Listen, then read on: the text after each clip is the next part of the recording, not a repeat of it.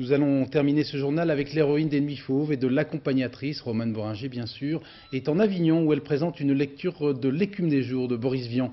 En exclusivité pour France 2, les deux Michel, Strulovici et Levasseur, ont pu suivre Romane et ils sont tombés tous deux sous le charme de sa grâce et de sa spontanéité. L'émotion de Romane Boringer sur les lieux mêmes de ses débuts. C'est drôle, hein?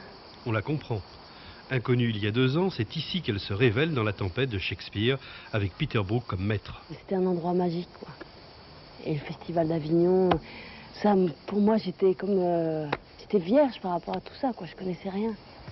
Et deux ans, c'est court, et deux ans, ma vie, elle a changé complètement. Enfin, pas changé, mais il s'est passé tellement de choses. Quand je reviens ici, j'ai le cœur qui bat, quoi. J'ai tout- toutes les images qui reviennent. Il y a deux ans, je savais pas ce qui allait se passer. Puis, pouf, Ce retour, elle l'accomplit par amour de Boris Vian, dans le cadre de lectures organisées par la SACD, la Société des auteurs. Claude Sampelli, il m'a fait un beau cadeau, quoi, de me permettre de revenir à Avignon. euh.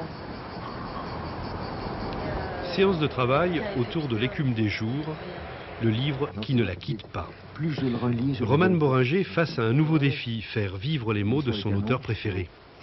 Voilà, il cherche du travail, dit-elle à voix basse, c'est pour cela qu'il n'est pas C'est là. ça. On l'a gardé celui-là on a gardé, euh, là, Chloé est allongée sur euh, le lit, Oui. 151. Roman m'a dit, euh, j'ai essayé de lui proposer des choses, mais elle savait très bien ce qu'elle voulait. Elle m'a dit, Boris, viens.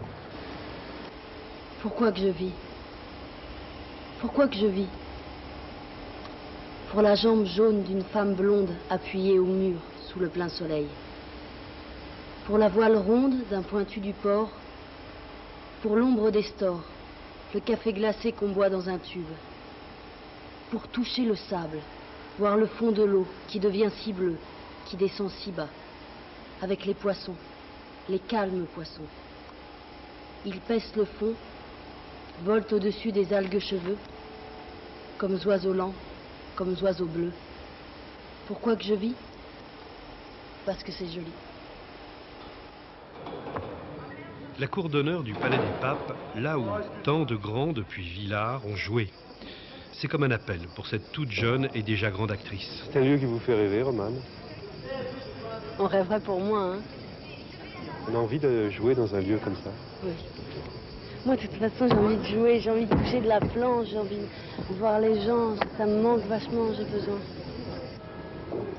À nous deux, Avignon.